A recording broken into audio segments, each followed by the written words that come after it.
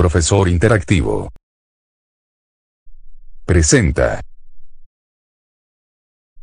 Poblamiento americano tardío. Hola amigos, soy Martín. En esta oportunidad hablaremos sobre el poblamiento de América. Los científicos postulan que el hombre apareció sobre la Tierra hace uno o dos millones de años atrás. Se han realizado varios estudios que establecen que su origen estaría en África y que desde ahí comenzó el poblamiento hacia los demás continentes. Teorías del poblamiento de América. Existen una serie de teorías acerca del poblamiento de América. Teoría del poblamiento asiático. Teoría de Paul Rivet. Teoría de Méndez Correa. Teoría de Thor Heyerdahl. La más aceptada por muchos años ha sido la del poblamiento asiático del científico Alex Ardlika. Antropólogo físico nacido el 30 de marzo de 1869, en la actual República Checa. Buscando pruebas de la inmigración asiática, realizó 10 expediciones a Alaska, Kodiak Island e Islas Aleutianas. Esta teoría postula que el poblamiento americano se hizo a través del estrecho de Bering. Durante la última glaciación, es decir entre el 14.000 y 13.000 a.C., habrían cruzado cazadores nómades de raza mongoloide, los que se distribuyeron por toda América. Las características de la raza mongoloide son las siguientes. Piel blanca amarillenta. Cabello lacio negro.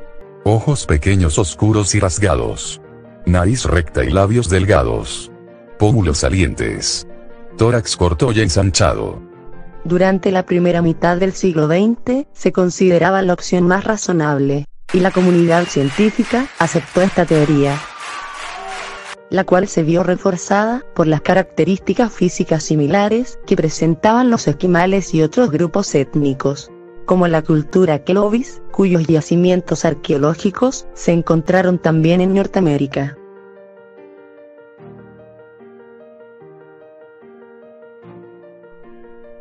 Esta teoría tenía detractores, principalmente por el planteamiento del origen monoracial de los americanos, uno de esos detractores fue Paul Rivet. Paul Rivet formó parte en una expedición científica que llegó a Ecuador en 1901. Se mantuvo en América del Sur por seis años, observando a los habitantes de los valles interandinos. Rivet postula que el poblamiento de América es el resultado de varios movimientos migratorios distintos.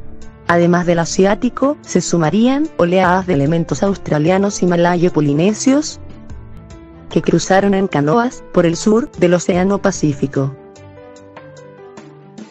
Esta teoría no se basa en restos arqueológicos. Lo hace a partir de estudios morfológicos, culturales y lingüísticos. Otra teoría multirracial que se plantea es la de Méndez Correa. Nació en Portugal en 1888.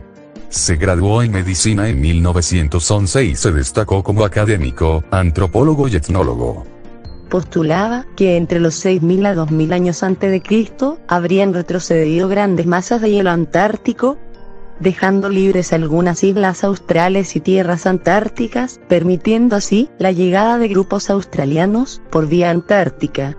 Esto habría permitido la existencia de fueguinos en la zona austral de América. Teoría que se basa en estudios de similitudes físicas, lingüísticas y etnográficas entre ambos grupos.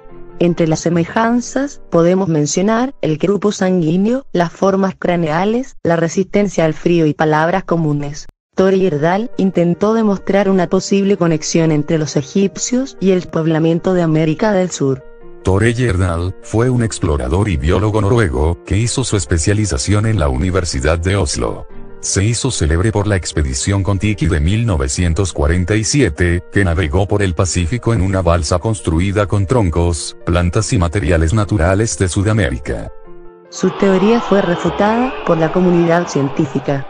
Las últimas excavaciones y descubrimientos de yacimientos arqueológicos han entregado nuevos antecedentes. Los datos que entregan estos restos demuestran la existencia de asentamientos humanos más antiguos. Por lo que el poblamiento por el estrecho de Bering es considerado actualmente como poblamiento tardío. No solo la data de estos restos ha generado nuevos antecedentes, también han demostrado un mayor desarrollo tecnológico que el esperado, como los yacimientos de Pedra Furada, Tulum y Monte Verde. Eso es todo por ahora, y nos encontraremos en otra oportunidad. Este ha sido un aporte de profesor interactivo, visítalo y podrás complementar lo aprendido aquí. Además podrás encontrar más recursos. Chao, nos vemos. Te invitamos a suscribirte al canal del profesor interactivo.